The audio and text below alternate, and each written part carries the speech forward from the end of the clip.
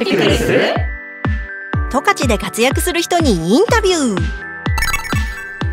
学生時代あのスキーをやっていてであの出身は千葉なんですけれどもで仕事とスキーが両立できるところに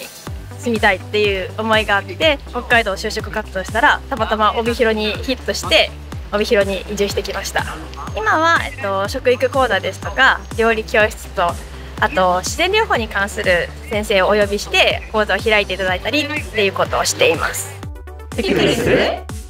人口がやっぱりそんなにすごく多いわけではないので SNS をすると実際にリアルに人とすごくつながりやすくってそこで募集してあの人が来てくださってでそれをまた Facebook にアップするとあ私の友達いるから行ってみようみたいなそういう感じであの人と人とがあの SNS が本当にリアルにつながりやすいっていう感じでした。テクルス帯広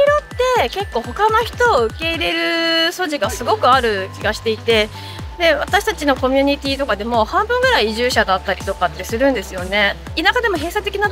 場所っていうのはあると思うんですけど帯広は比較的それが少ないのかなっていうふうに感じます。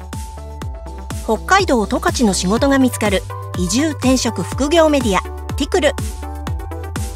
ティクルする？